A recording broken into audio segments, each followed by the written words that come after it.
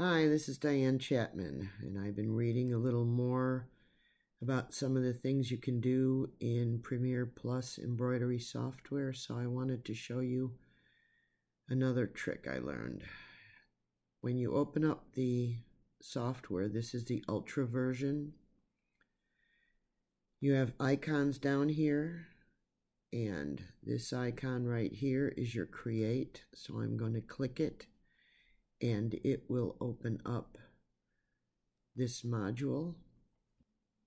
Now I've tried several of these and these first three I haven't had a lot of success with.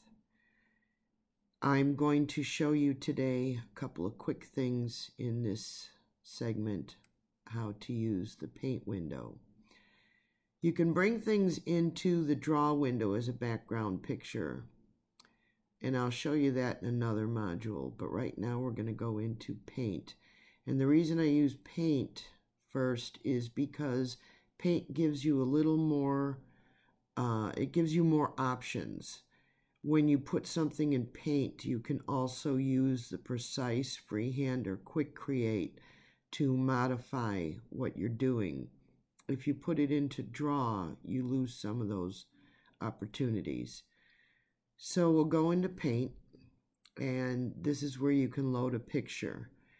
Now I've been working on some intricate pictures and it takes quite a while so I'm going to just load something real simple here. If you go into your documents, Premier Plus samples, create pictures, they give you some sample pictures to play around with. So we'll choose this Blue Jay click next, next, and I'm going to leave the hoop as my Viking 80 by 80. If you need to change that, you would go in here, choose the type of uh, machine you have and the size of the hoop, and then of course if you want it natural or rotated, or you can enter a specific size if you have an unusual one and then we'll click next. It recommends the colors. Not sure why it does that. And we click finish. So now I have this bird set up here, but all it is is a picture. And I need to somehow get color over it that the software will recognize so that it can turn into an embroidery. Now, I'm sure there's a lot more things that you can do with this software, and if you're further along than I am, please feel free to let me know. You can even email me at dian at mousetrax.com, and that's spelled D I A N. There's no E on my name. The at sign M O U S E T R A X dot com. I'd love to hear from you if you know more than I know at this point. So once you're in this area, you can do a couple things here with these tools. You can choose the paintbrush. You can make it different sizes of square or round. And you choose a color. Now this is the foreground and the background colors. You can switch them by clicking here. I was a graphic designer for many years, so a lot of this came to me from that experience. You also have the uh, color pickers. So if you wanted to pick a color out, you could choose this for the foreground and click, and the foreground will turn into the color you choose. You could take the background, click on a color, and that would change. But what I'm going to do is just uh, choose black. Say I want to put ink over this and the ink will eventually become the actual embroidery thread. So say I choose this and I make it a square and I start sketching in black. Well, obviously black is impossible to see over black, or nearly impossible.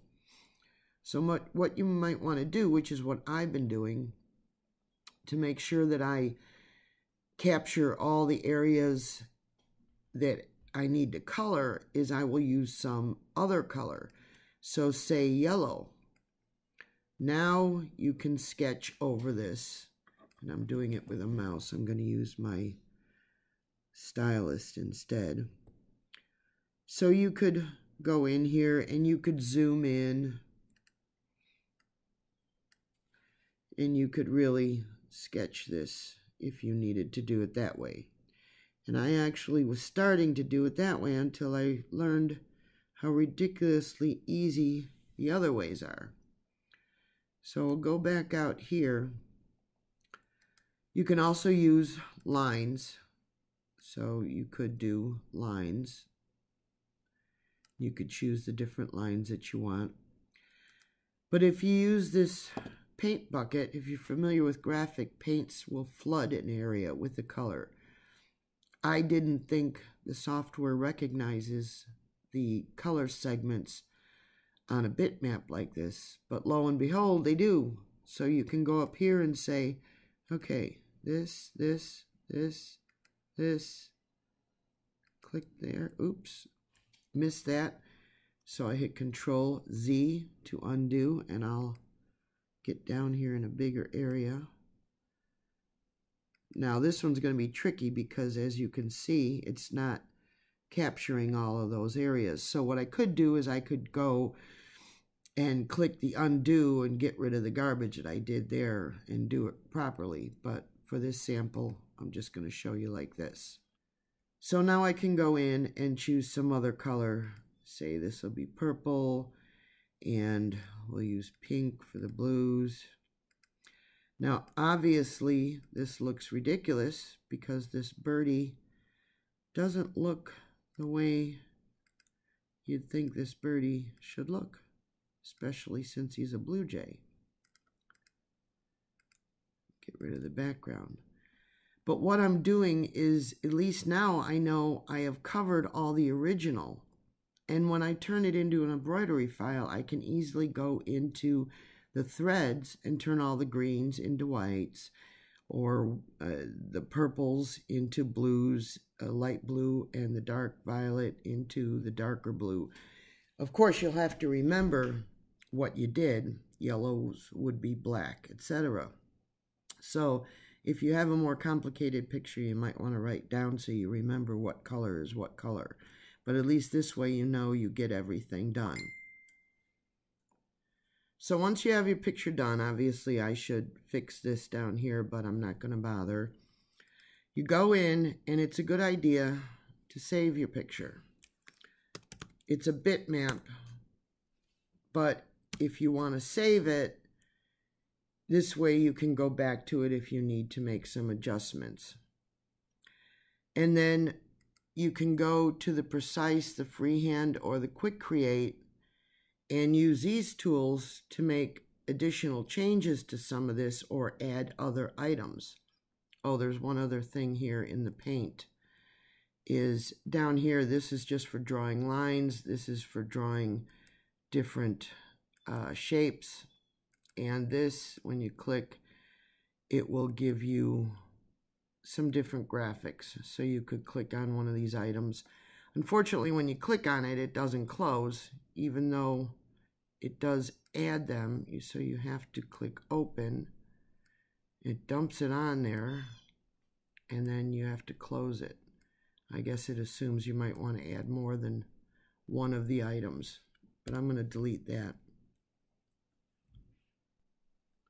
So now you can go to the wizard, and at this point it'll ask you if you want to save it. Now you just saw me save the picture, but that was a bitmap. Now it asks you if you want to save what you've colored, and you want to definitely say yes. And you'll notice down here this is an EDO, and I forgot exactly what it is, but it's an editable um, design object, I believe, is the EDO. And you want to save it in this format because this is some people call it a wireframe in graphic design. This is your master edited version. you still have that bitmap, but if you brought the bitmap in, you'd have to recolor it. This is the recolored one. So if you discover that the embroidery came out wrong, you can go back to this work and you don't have to recolor it. So, oops, call this bird. And I actually did it as a test. So, yes, we're going to update it. Now it opens up the wizard and you could trace it or do a border, but I'm going to do an actual embroidery. And here's the um, wizard as if you were doing a photo. And you can make some adjustments here, the fabric and things like that. I'm just going to say finish.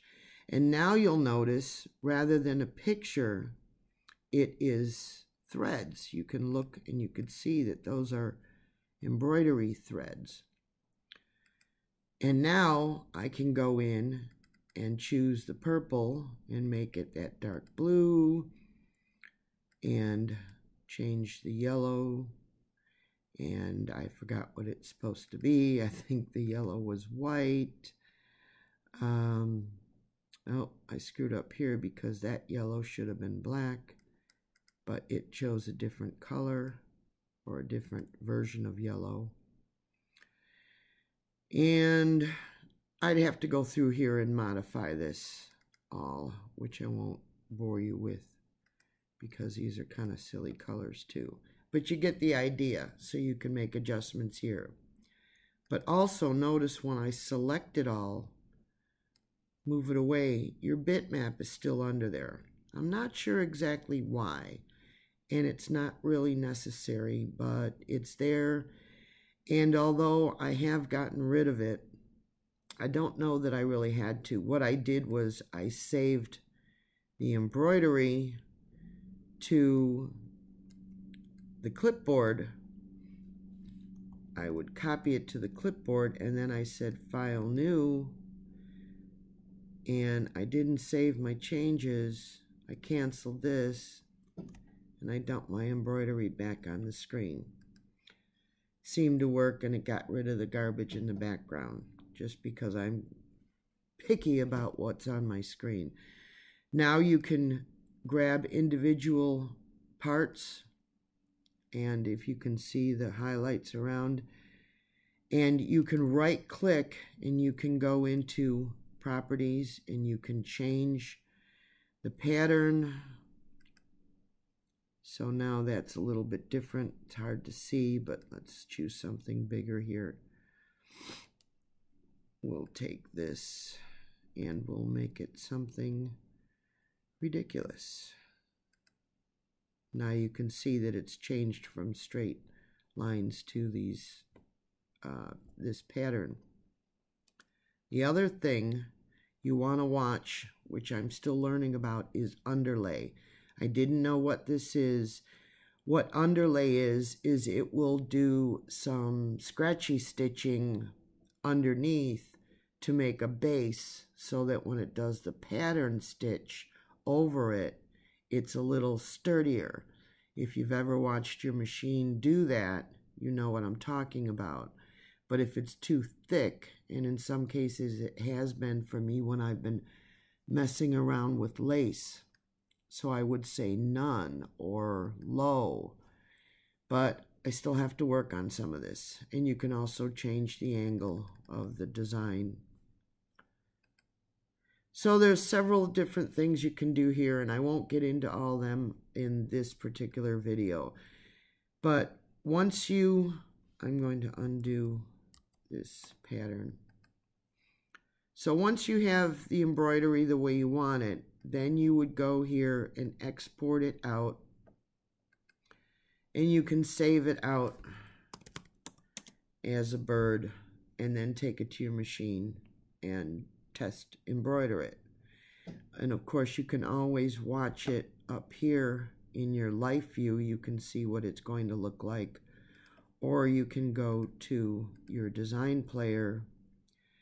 And I wish they allowed you to zoom in on this better but you can watch this play out and you can speed it along. See, there's the underlaying. it does a little bit of stuff first and then does the pattern over it. See, there's the underlay and then the actual pattern.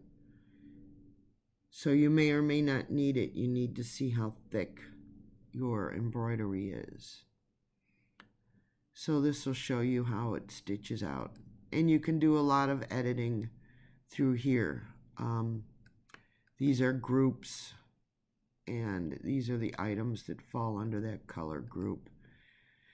There's a lot to learn in this software and I'm learning bits and pieces of it, but hopefully sharing this section will help you understand yours a little more because I'm sorry their manuals have a lot to desire. They tell you all about the things that it will do, but they're not real good at showing you how to actually do it. So hopefully this helps.